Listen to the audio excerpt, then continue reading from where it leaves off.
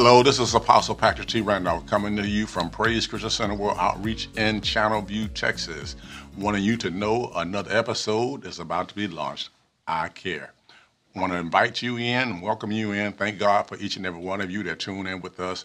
And we pray that the word is encouraging you, that the word is strengthening you every time that you listen to us this morning, every other morning. Uh, we just want you to be blessed and know that God Himself, He cares for you. That's why He says in His Word to cast all your care upon Him. Why? Because He cares for you. And that is the purpose and that's the reasoning behind iCare. Hallelujah to the name of the Lord. And so I just want to begin this week talking about a very special word. And when I say special word, you'll find this word uh, constantly throughout the Bible where uh, this word is spoken to people. It's constantly written. Uh, so it's something we need to take heed to. And that is fear not. Hallelujah. Fear not. Have no fear. Be not afraid. Hallelujah. Only be strong and courageous and so forth. So that, that, that says something to me that it stands out in the kingdom of God is that we are not to fear. We are not to be afraid of anything. As a matter of fact, again, I've said this to you before and I'll say it again, that the only thing that God says to fear the word says to fear is God himself.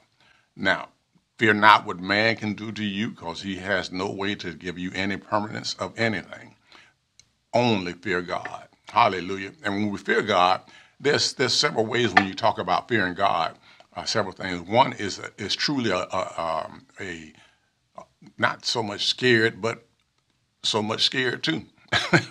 you know, because we don't want to be put in a position where we disrespect God and then uh, and and think it's, it's it's nothing because it is something when you disrespect God. It is something when you have no fear of God. As a matter of fact, the Bible uh, clearly shows us it's foolish uh, not to have fear of God. And so when we don't have fear of God, it's a, it's a high disrespect to God. And I think that the church needs to get back to fearing God the way that the church needs to, because I think too many things are being done in the lives of believers uh, because we have no fear of God, or the fear is not proper. And uh, I'll say it like that uh, because it's, it's, it's, it's many times it's just too loose with God. I'll say it like that.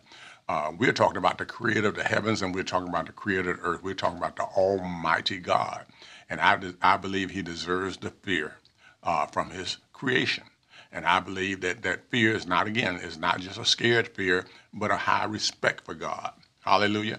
Uh, uh, a, a, respect for God is to the highest, where there's, there's nothing else you fear more than God, because again, God tells us to fear not. And the only thing he tells us to do again is to fear him.